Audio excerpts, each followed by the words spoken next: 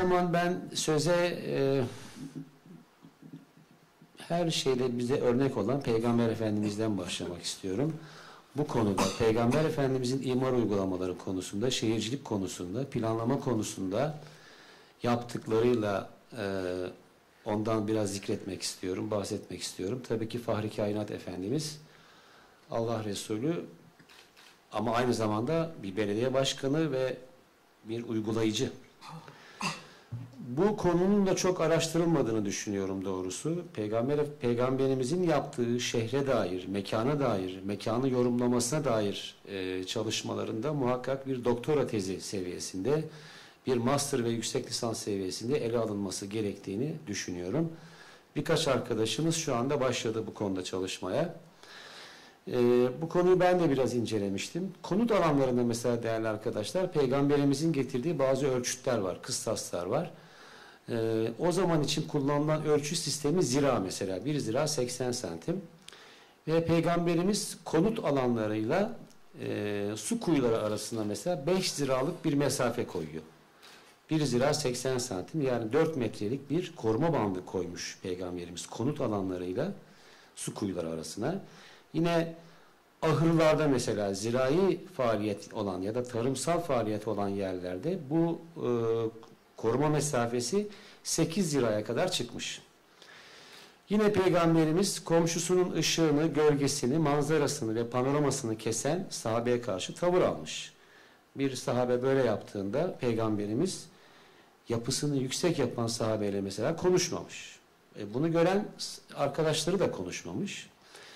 O kişi bu hatasından vazgeçinceye kadar konuşulmuyor o sahabe efendimizle ama o kişi bu hatasını düzelttiği zaman Peygamberimiz onunla konuşmaya başlıyor ve arkadaşları da konuşmaya başlıyor. Peygamberimizin kaçak yapılaşma ve imar konusunda aldığı bir tavır var burada. Bunların bilinmesi gerekir. Yine tabi e, Mekke'den Medine'ye göç ediliyor ve e, orada Medine'de Yahudiler döneminden kalan asar denilen şatovari yapılar var. Eski eserler bunlar. Muhacir ve Ensar diyor ki bu yapıları yıkalım. Peygamber karşı çıkıyor. Hayır diyor. Bunlar bir şehrin zinetleridir ve süsleridir diye buyurarak o eski eser yapıların yıkılmasına karşı çıkıyor. Kur'an-ı Kerim'de de geçer birçok yerde eski eserlerin ve medeniyetlerin izlerinin korunması e, istenir. İbret e, vesilesiyle. Yine El-Gabe korusu Peygamberimizin Medine dışında inşa ettiği ilk korudur.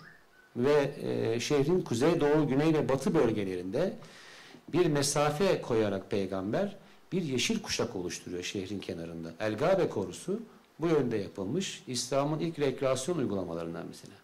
Hazreti Peygamber ticaret alanlarında bir ölçü getirmiş. Asla ticaret kervanlarının Medine dışında karşılanmasını istemiyor ve bunun için Medine'de merkezde bir çarşı inşa ederek e, ticaret mallarının direkt üreticiden tüketiciye yansıtılmasını talep ediyor. Yine spor alanlarında değil mi? Suffa var mesela peygamberimizin. Okulla ibadet arasındaki ilişkiyi düzenleyen uygulamaları var. E, toprak çocuğun baharıdır diyerek çocukların toprakta oynamasını tavsiye ediyor. Bu konuda peygamberimizin e, gerçekten konut alanlarında, ticaret alanlarında e, eski eserlerin korunmasında, kültürel kent dokularının, eski kent dokularının korunmasında yaptığı uygulamalar var, yönlendirmeler var ve emirleri var. Dolayısıyla e, bizlerin de bu konuyu çok iyi araştırması gerekiyor ve bunu kentlerimize hakim kılmamız gerekiyor.